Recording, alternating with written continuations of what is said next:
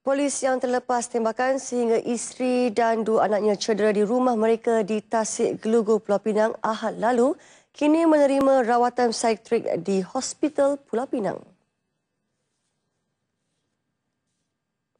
Ketua Polis Negeri Datuk Abdul Ghaffar Rajab berkata, anggota polis yang berusia 33 tahun itu telah mendapat perintah reman selama empat hari.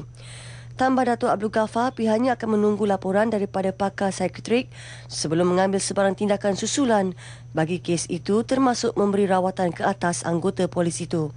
Difahamkan anggota polis itu telah berkhidmat dengan PDRM selama 9 tahun. Mengulas lanjut, Datuk Abdul Ghaffar berkata, kes seperti itu adalah terpencil dan anggota polis itu adalah seorang yang berdisiplin dan tidak pernah dikenakan tindakan tata tertib. Berdasarkan siasatan awal, anggota polis tersebut mendakwa dia mendengar suara-suara halus dan memaksa dia melepaskan tembakan. Sementara itu, isteri anggota polis dan dua orang anaknya masih dirawat di Hospital Seberang Jaya.